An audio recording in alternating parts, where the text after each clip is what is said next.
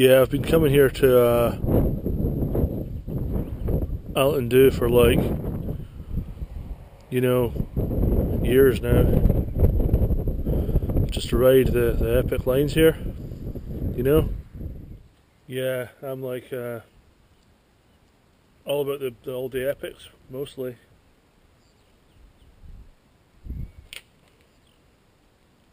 You know? Yeah, I'm like just totally stoked to be free to, to ride the lines I do.